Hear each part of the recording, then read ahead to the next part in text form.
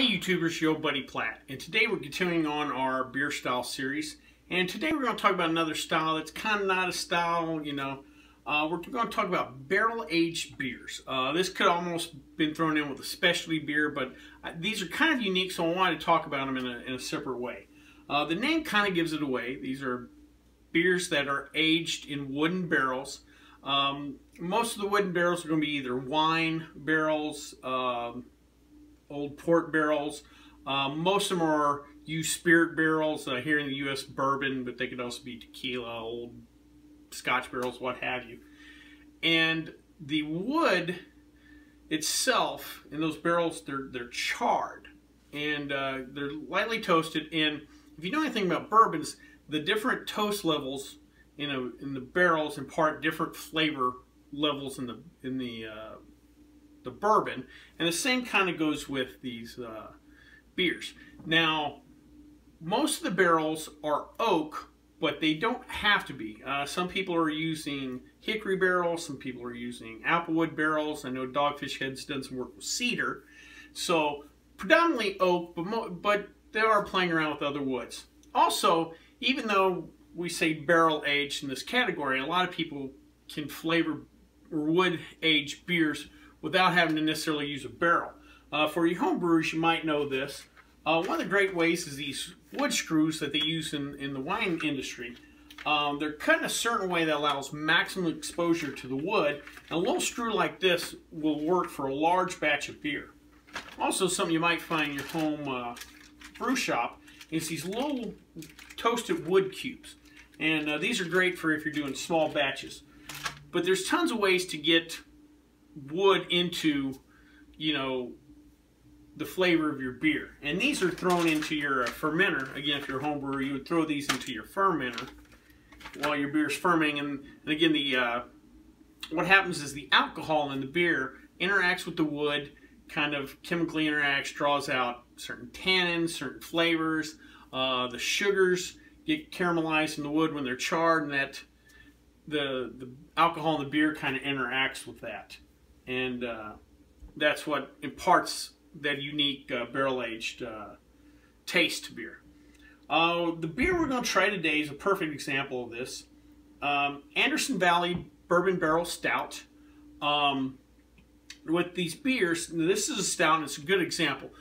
Most of the beers that are going to be barrel aged, wood aged, what have you, are tend to be bigger beer. Now, any beer can be barrel aged, but to stand up to the intense flavors that you pick up out of the woods, you're going to need a, a bigger beer. That's why you're not going to see a lot of Pilsners or light lagers or Hefeweizens being barrel aged, even though conceptually they could be.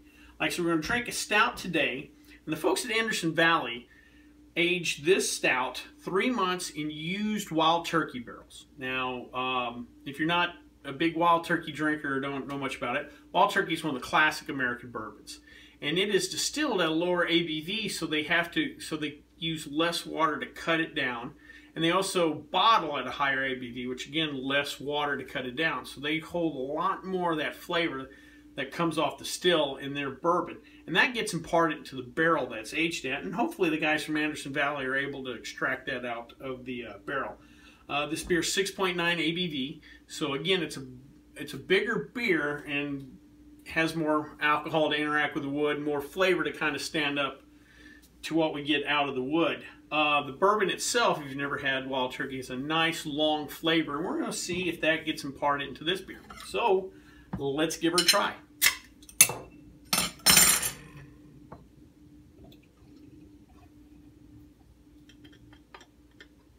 Alrighty. Boy, we get a nice uh, darker khaki head. This is a nice dark porter. Let's give her a nose.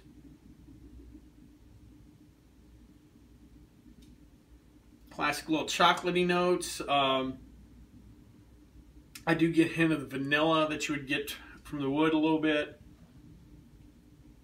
Let's give her a try. Oh, that is nice, nice and rich. A lot of, a lot of sweet, com complex notes, espresso, toffee, some rich chocolate, uh, a bit of vanilla, but when I say vanilla, I like vanilla bean.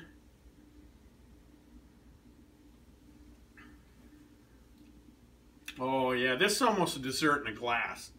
Um, you do get the bourbon sweetness, um, especially the punch on the front of the tongue. If you've ever had a good example, like a Maker's Mark or that bourbon sweetness really hits you in the front of that tongue, and you get a little bit of that here.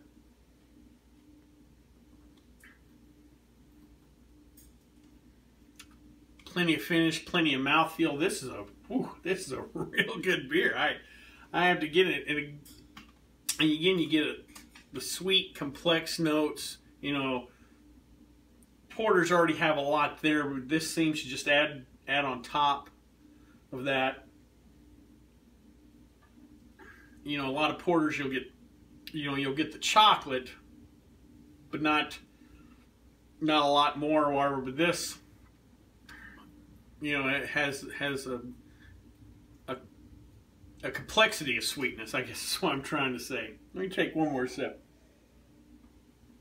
Oh yeah, that definitely shows you that these beers, you know, there's a lot of room to work with. Um, I definitely would like to try a hickory beer, um, see what the boys at Dogfish Head did with cedar, but I believe with this kind of beer, that bourbon barrel, that really rich taste that you get from a good bourbon mixed with this stout, it has, has done a pretty good job.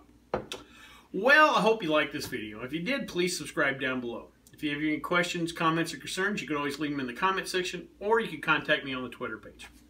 Well, until next time, bottoms up.